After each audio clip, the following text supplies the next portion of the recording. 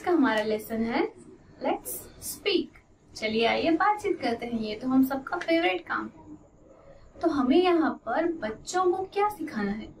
जिस तरह से रोज आम बोलचाल में वो बातचीत करते हैं, जिस तरह से वो कन्वर्सेशन करते हैं, हमें बस उस कन्वर्सेशन को उनको यहाँ पर इंग्लिश में किस तरह से बोलना चाहिए?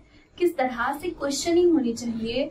किस तरह से इंक्वायरीज होनी चाहिए? किस तरह से लोगों को या दूसरे अपने फ्रेंड्स को थैंक यू बोलना चाहिए ग्रेटिट्यूड होना चाहिए ये सारी चीज़ें हमें यहाँ पर बच्चों को सिखानी है, ताकि वो एक दूसरे से अच्छे से बात कर सके। हम यहाँ पर बच्चों को सेंटेंस फॉर्मेशन भी सिखाएँगे कि किस तरह से रिपीटेडली वो सेंटेंस का यूज़ करके अपनी इंक्वायरीज को कर सकते हैं या फिर अपने सेंटेंस को पूरा कर सकते हैं। अब इस लेसन में बहुत सारे नए नए वर्ड्स आए हैं like pen sharpener eraser stone year तो ये सारी चीज़ों के नाम, उनके मीनिंग हम यहाँ पर बच्चों को समझाएँगे। हम बच्चों को यहाँ पर थोड़ी बहुत लिखने की भी प्रैक्टिस कराएँगे। यहाँ पर बच्चों के कौन से वैल्यूज़ बिल्डअप होंगे?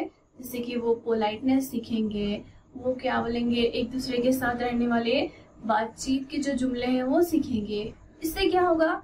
इससे न सिर्फ़ उनकी इल्मी तरक्की होगी, बल्कि यहाँ पर उनकी समाजी तरक्की का भी हम ख्याल रखेंगे, जिससे एन 2020 के हमारे जितने भी मकासद हैं वो हासिल हो जाए। अब ये सबक हमें बच्चों को डिस्कशन बेस्ड पढ़ाना है। डिस्कशन बेस्ड यानी कि हम बच्चों को बातचीत में, जैसे कि बातचीत का ही सबक है, बातचीत करते करते हम यहाँ पर ये सारा सबक बच्चों को समझाएँगे। इसकी वजह से उनकी यहाँ पर हम मजमू तरक्की का ओवरऑल डेवलपमेंट का हम यहाँ पर उन्हें ख्याल रखेंगे। तो चलिए आइए, शुरू करते हैं ये सबक लेट स्पीक मेरे साथ। और हाँ ये जो लेसन है, ये हमारा दूसरे यूनिट का लेसन है। चलिए आइए, शुरू करते हैं।